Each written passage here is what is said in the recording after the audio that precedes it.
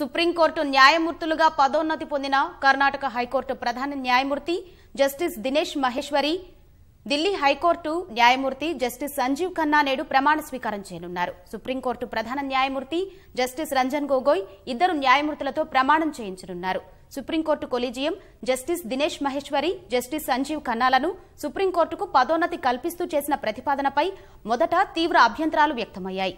Rajasthan high court ప్రధాన న్యాయమూర్తి justice Pradeep నంద్రజోగ్ సహా ఢిల్లీ హైకోర్టు ప్రధాన న్యాయమూర్తి జస్టిస్ రాజేంద్ర మేనన్ జస్టిస్ కన్నా కంటే సీనియర్లు అయినప్పటికీ వారిని పక్కన పెట్టి జస్టిస్ కన్నాను నియమించారంటూ అసంతృప్తి వ్యక్తమైంది. అయితే కేంద్రం మాత్రం జస్టిస్ కన్నానే సుప్రీంకోర్టుకు పంపింది.